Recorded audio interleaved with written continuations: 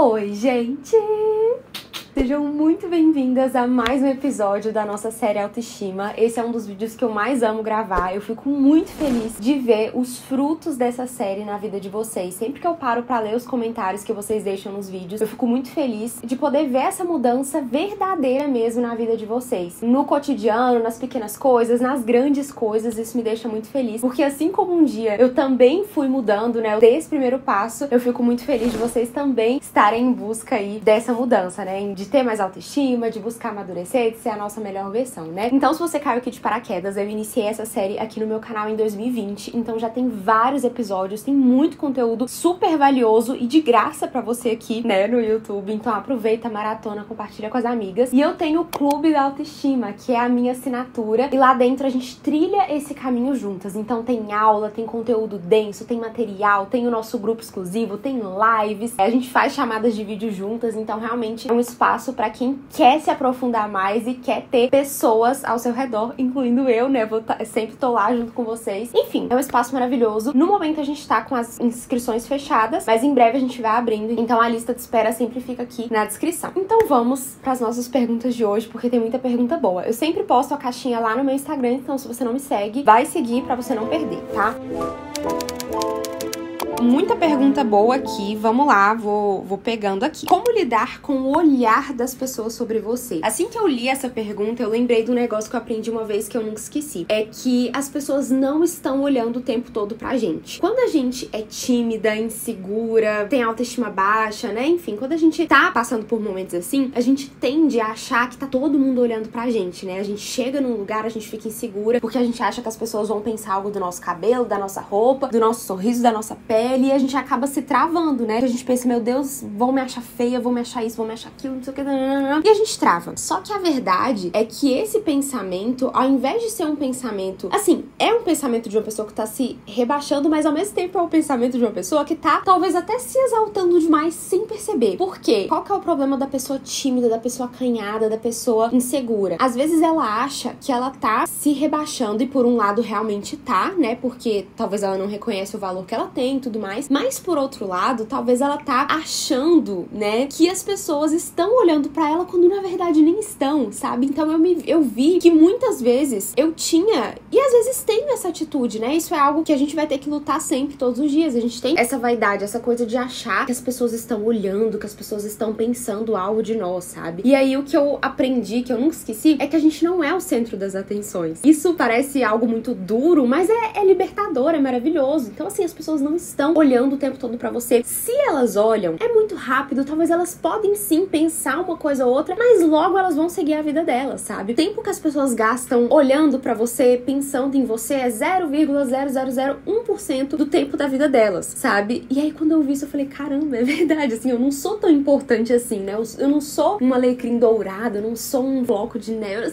eu não sou assim aquela coisa especial, sabe? As pessoas costumam dizer isso, né? E é verdade. A gente não é esse alecrim dourado que tá todo mundo olhando pra gente. Não, sabe? Então, vamos nos colocar no nosso lugar. Então, o primeiro passo para vencer a timidez, por isso muita gente não consegue vencer, porque não sabe que esse é o primeiro passo, é se abaixar. Não se abaixar no sentido de se rebaixar, mas de se colocar no seu lugar. De entender que as pessoas não estão olhando o tempo todo para você, de que a gente não é tão especial assim, de que, e que isso é algo bom, isso é algo que nos deixa leves, que nos liberta, né? Entender essa verdade, essa realidade nos liberta. Então, ao invés de a gente ficar pensando pensando só na gente, né? Ai, estão me olhando, estão me, me, me, ai, me olhando, pensando algo de mim. Esquece, tira o foco de você, pensa nos outros, volte o seu olhar para os outros, sorria para os outros, atenda às necessidades dos outros, seja aquela pessoa que ajuda, que ama, que tá disposta, que serve. E aí você vai ver que a sua vida vai mudar, sabe? Se a pessoa tá pensando algo de você, se a pessoa tá te olhando mal, te olhando bem, para você já não importa mais, sabe? Porque é aquilo, né? Você é aquilo que você é. Você não é o que os outros pensam, o que os outros né? E aí, quem você tem sido? Então, é isso, né? Eu poderia ficar aqui o vídeo inteiro falando só sobre isso. Mas vamos para a próxima pergunta. Fala sobre autoestima na adolescência. Achei perfeito. Ela não fez nenhuma pergunta específica, né? ela só pediu para falar sobre autoestima na adolescência. Boa parte das pessoas começam a ter problemas de autoestima na adolescência. Às vezes esses problemas se resolvem na adolescência mesmo e aí chegam na fase adulta, já estão mais maduras, né? Resolveu. Outras pessoas não, trazem esses problemas da adolescência pra vida inteira e aí ficam lá sempre patinando, enfim. E uma coisa que ajuda muito na fase da adolescência a fazer com que as adolescentes tenham autoestima é buscar ser útil. Como assim, Ana? Muita gente na fase da adolescência fica naquela coisa, né? Você não é nem mais criança, então você não não é mais aquela criança que é totalmente dependente dos seus pais, né? Você já, enfim, você tá crescendo, você já não é mais criança, mas ao mesmo tempo você também já não é adulto. Então você não é dependente, mas ao mesmo tempo você não consegue assumir tantas coisas, você não tem tantas responsabilidades, né? Você tá naquela fase talvez que você fica muito tempo livre, né? Muitas adolescentes acabam ficando muito ociosas e aí essa ociosidade traz ansiedade, traz autoestima baixa, enfim. Às vezes essa falta de tempo livre, né? Porque pensa, você não é mais criança, então você não é mais aquela criança que brinca ali, que ocupa o seu tempo, mas ao mesmo tempo você não é adulto, então talvez você ainda não tem tantas ocupações como uma família para cuidar, filhos para cuidar, né? Trabalho, enfim, faculdade, talvez você ainda não chegou nessa fase. Então você talvez se encontre naquele meio termo, né? E aí talvez você se sinta sem utilidade, né? Meio que talvez você não perceba isso, tá? Na verdade, a maioria das adolescentes não percebem isso, porque talvez ocupam o seu tempo com tantas coisas, talvez tantas coisas supérfluas ou tantas coisas que talvez elas não percebam isso. E aí que entra essa questão da utilidade. O que, assim, resolve boa parte dos problemas na adolescência é você servir. Quando eu fiz aquela semana da autoestima na prática, né, aquele evento ao vivo aqui no YouTube, teve uma aula, uma live que foi só sobre o serviço. Vocês amaram porque vocês tinham várias dúvidas em relação a isso, né? E aí, a adolescente, muitas vezes ela não quer servir, ela quer ficar ali, né, curtindo talvez uma série, comendo besteira, não sei o que, tanana. e aí vai entrando nesse nessa vida muito ociosa, muito letárgica, muito, sabe, tudo vem a mim e eu não faço nada. Isso vai destruindo de fato a autoestima, porque se você não tem coisas boas a serem estimadas dentro de você,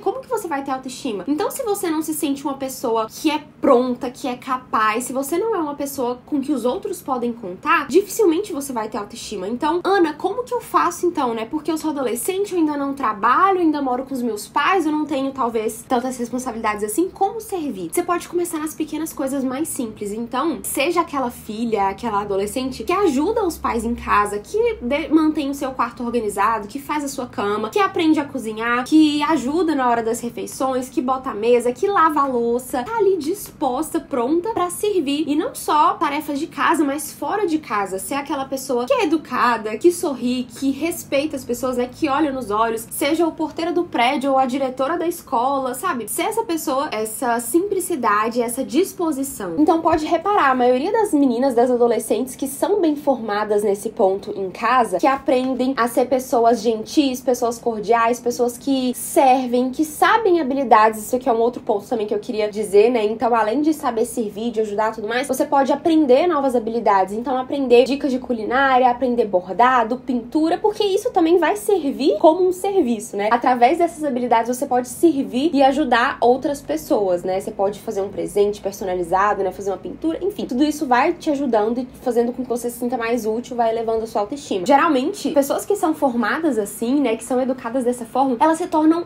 adultos muito mais seguros, muito mais confiantes, muito mais, sabe, pessoas mais bem resolvidas. Por isso que muita gente que sabe servir, que é aquela pessoa pronta, que é aquela pessoa disposta, é também uma pessoa bem resolvida. Ela não tem tantos problemas assim de autoestima, porque ela consegue buscar coisas estimáveis, né? Quando você serve, você tá exercendo virtudes, você tá amando, você tá olhando mais pro outro, você tá exercendo ali algumas virtudes. Então isso vai te ajudando a crescer, a amadurecer. Só que aí acontece que muita gente sai da adolescência, entra na fase adulta ainda com esses problemas. Mesmo tendo já um trabalho, tendo uma família, enfim, continua com esses problemas de autoestima. Mas talvez é porque ainda não entendeu a importância do serviço, a importância de que a nossa vida ela é pro outro, no sentido de que um sabonete para ele ter perfume, você tem que usar. Então a nossa vida também é assim. Pra gente exalar um perfume, né, a gente tem que se gastar, se doar. E assim a nossa vida vai ganhando força, vai ganhando sentido, a gente vai crescendo, a gente vai amadurecendo. É a mesma coisa para uma vela iluminar, né? Você tem que acender a vela e essa vela vai se gastar. A nossa vida também é assim, a gente tem que ir se gastando pra levar luz pros outros, né? Se a gente aprende isso na adolescência, a gente resolve um monte de problema de autoestima. Mas se a gente entra na fase adulta, talvez a gente fica lá sem entender, mas é porque a gente não resolveu isso antes. Então você pode já aproveitar o que você tem, né? Se você já entrou na fase adulta, se você já tem uma família, se você já tem filhos, se você já trabalha, se você, sei lá, já tá na faculdade, pra usar o seu cotidiano, né? As coisas ordinárias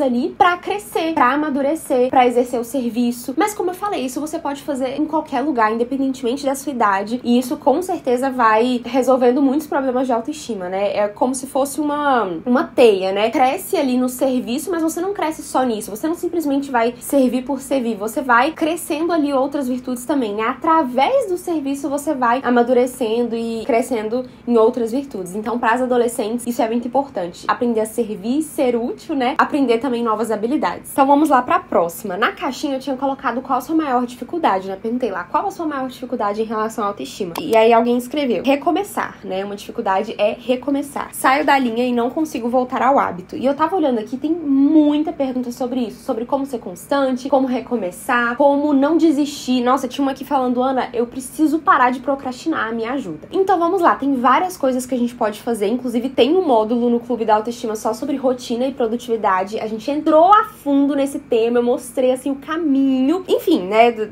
Esse módulo é super completo, mas eu vou tentar pegar alguns pontos aqui para jogar uma sementinha aí, né? Uma coisa que ajuda muito nessa questão da preguiça, da procrastinação, da falta de, de ação muitas vezes, né? Vamos lá, primeiro esse ponto, né? Como resolver isso? Uma coisa que ajuda muito é a meditação da morte. Então você entender que hoje você tá aqui, mas amanhã não se sabe. Então você só tem o, o hoje, você só tem o momento presente. Às vezes é duro, é difícil pensar nisso no começo, mas é uma realidade, né? É uma verdade, é, é a única certeza que a gente tem. Então quando você começa a olhar para tudo que você faz com essa nota de eternidade, né? Entendendo que, opa, peraí, o que eu faço aqui, né? Tipo, esse tempo que eu tô perdendo não é simplesmente um tempo que eu estou perdendo, né? É aquela frase: se o tempo fosse ouro, talvez a gente poderia perdê-lo, mas o tempo é vida e a gente nunca sabe quanto nos resta. Então, essa frase, né? Essa verdade te dá um chacoalhão. Você pensa, opa, peraí, por que eu tô aqui parada, né? Se, eu, se o tempo, o tempo não é ouro, é mais, muito mais. O tempo é minha vida. Então, eu não posso ficar aqui, né? Perdendo tempo. Outra coisa que ajuda muito a vencer a preguiça é entender que preguiça não é você não fazer nada, é você não fazer o que você deveria estar fazendo. Então, se você tem que entregar um relatório no trabalho, aquele relatório precisa ser entregue hoje,